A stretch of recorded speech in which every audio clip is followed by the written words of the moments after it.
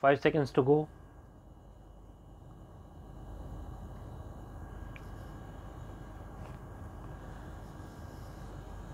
Start. The other objection which has been raised is that the agreement dated 12th February 1986 required registration under the provisions of the Indian Registration Act. The unregistered agreement would not be admissible in evidence, hence, it could not be acted upon.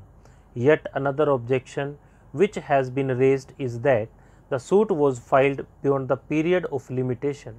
In support of the first contention, a reference has been made to section 107 of the Transfer of Property Act, according to which the parties had to execute a registered lease deed, but the same was never done.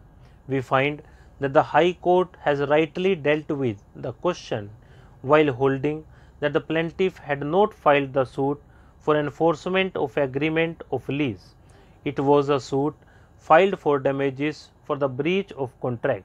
It was not a suit for specific performance of the contract.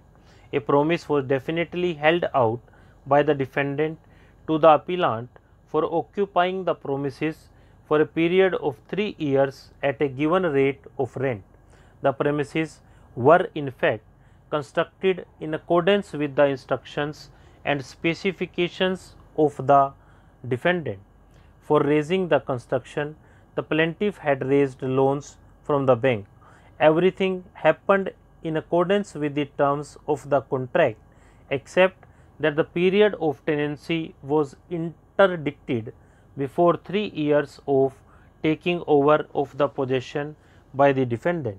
In our view, the trial court and the high court have rightly held that in absence of any lease deed or registered lease deed, the nature of the lease would only be that of a monthly lease, but it does not mean that it would deprive the plaintiff or damages for breach of terms of an agreement in accordance of which he had preferred his part of the obligation by creating a liability against himself by taking loan from bank and that it will be of no consequence as agreed in the agreement since no lease was executed and registered.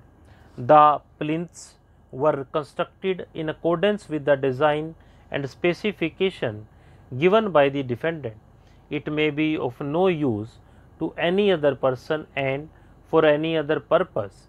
In this background, as what was held out by the defendant assumes importance and in case one who holds out a promise will have to compensate the party who acted bona fidely on the basis of the promise made.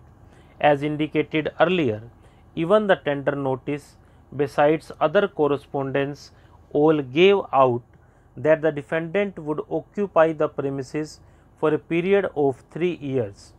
Everything was acted upon according to the agreement except the execution of a lease deed.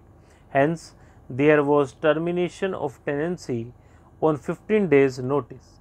The plaintiff is not insisting that the defendant must retain possession for the remaining period or that the tenancy was not terminable, but termination of the tenancy would not necessarily mean that the defendant who would also not be liable for compensation for the breach of promise held out in the terms of the agreement.